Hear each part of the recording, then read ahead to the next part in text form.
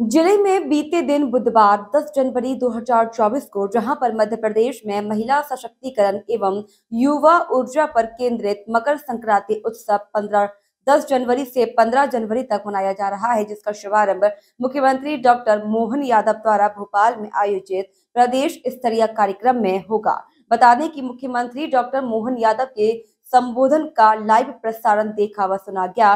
Collector Arvind Dubey ने लाडली बहनों से संवाद करते हुए कहा कि मुख्यमंत्री लाडली बहना योजना में महिलाओं को प्रतिमाह आर्थिक सहायता मिल रही है।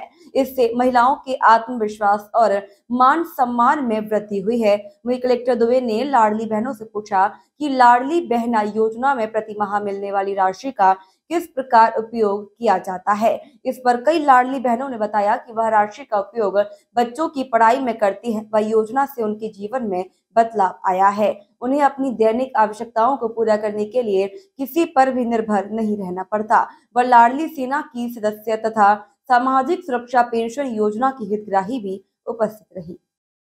सुश्री निर्मला भूरिया जी का और माननीय मंत्री नारायण सिंह कुशवाहा जी का और मंचासीन सभी अतिथियों का।